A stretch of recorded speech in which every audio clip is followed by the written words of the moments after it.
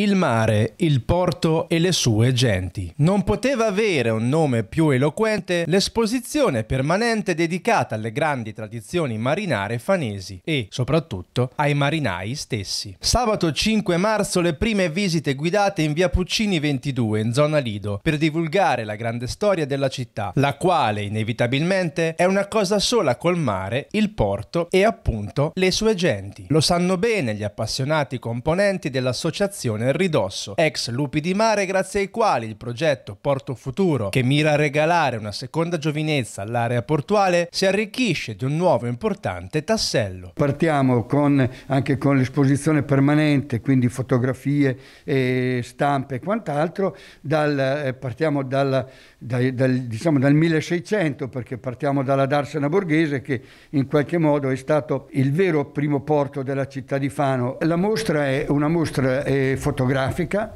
eh, quindi con foto alcune in esclusiva, alcune che, eh, che noi abbiamo comunque trovato nel, nella biblioteca federiciana qui a Fano e, altre, e poi abbiamo dei modellini di, di, di alcune barche di, diciamo quando erano a vela perché è un po' la, la storia eccetera. poi abbiamo le attrezzature della pesca eh, quindi i vari tipi di rete i vari tipi di, di anche pesca diciamo eh, più semplice quindi eh, nasse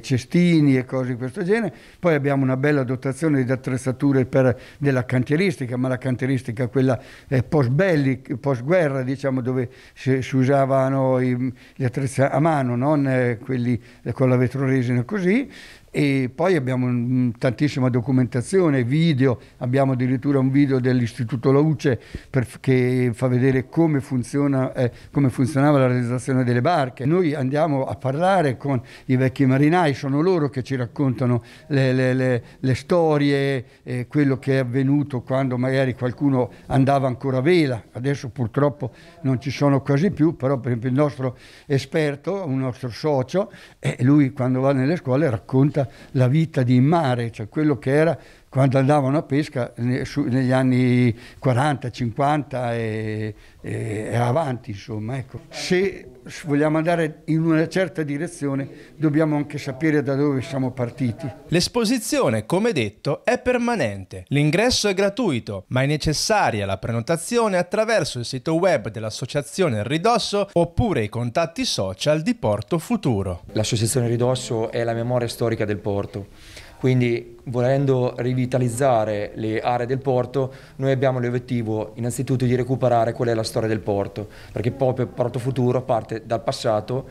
si sviluppa nel presente per avere un'ottica futura del porto. Abbiamo riscontrato ovviamente grandissimo entusiasmo da parte dell'associazione, quindi avremo appuntamenti futuri dove cercheremo di mettere insieme l'associazione Ridosso con il Consiglio dei Bambini di Fano. Questo perché? Proprio per far incontrare le due generazioni come eh, simbolo di scambio portuale all'interno del porto le due, le, le, i bambini e le, persone, e le persone adulte e vedere da